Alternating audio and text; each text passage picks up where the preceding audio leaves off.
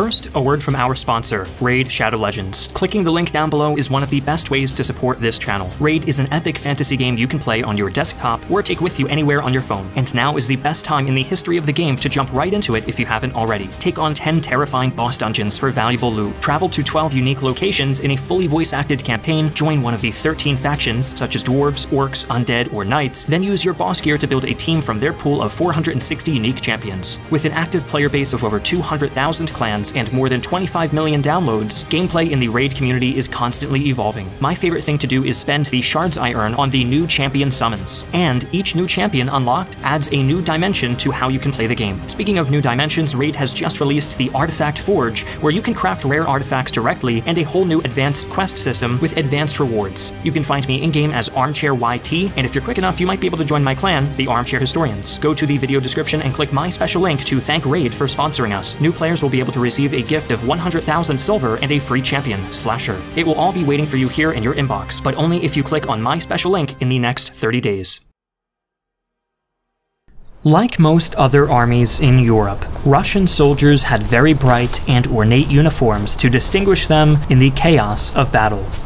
Russian muskets were often copies of European designs, with minor changes such as heavier stocks or copper ramrods to prevent rust.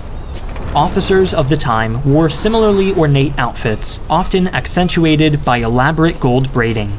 A sword and scabbard at their side usually served as a symbol of their rank and standing.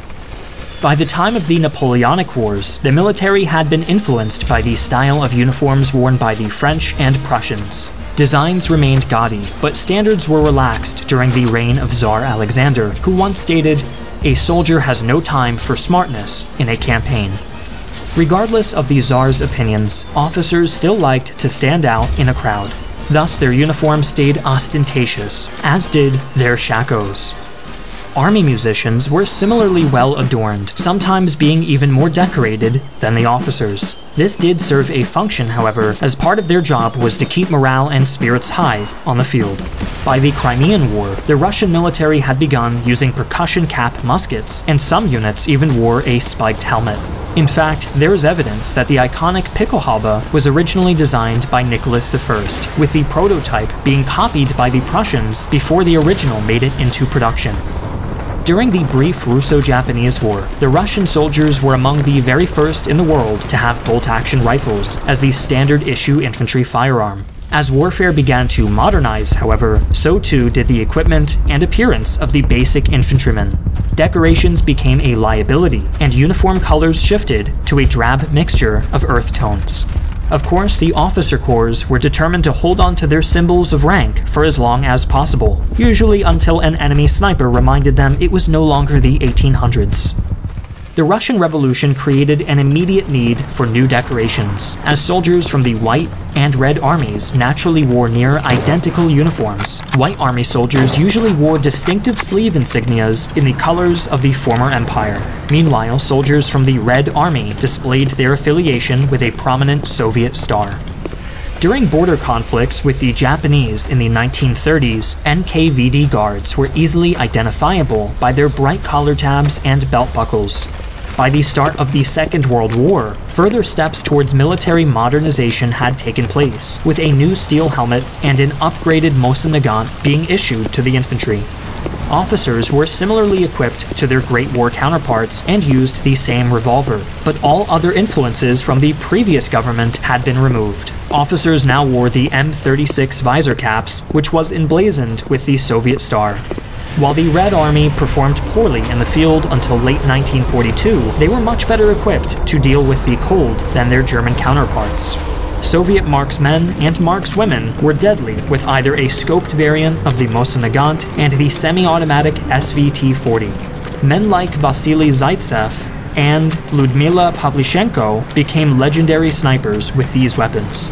While infantrymen made the bulk, for Soviet ground forces, specialized assault sappers or engineer brigades were created, spearheading assaults with submachine guns, destroying fortifications or building bridges to advance a Soviet victory.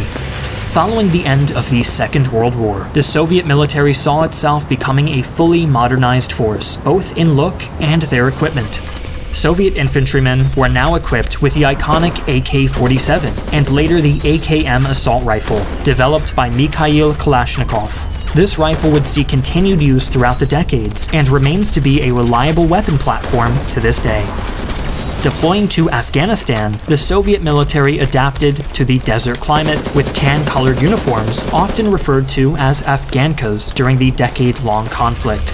With the fall of the Soviet Union in 1991, the new Russian Federation issued their infantrymen new camouflage uniforms, making their debut deployment in the conflicts in Chechnya, although many still retained their Soviet-style belt buckles, whereas years later, Russian military forces would be free from the influence of the hammer and sickle on their gear. Equipped with AK-12s, a modernization of the reliable AK-47 from the Cold War, the soldiers of the Russian Federation are as prepared as their Western neighbors. In contrast to the standard infantryman's uniform, the Honor Guards have a very ceremonial look, absolutely needed when guarding high-profile locations, such as Russia's Tomb of the Unknown Soldier. They are equipped with the SKS rifle. Thanks again to Raid Shadow Legends for sponsoring this video. Using the link down below really supports our channel.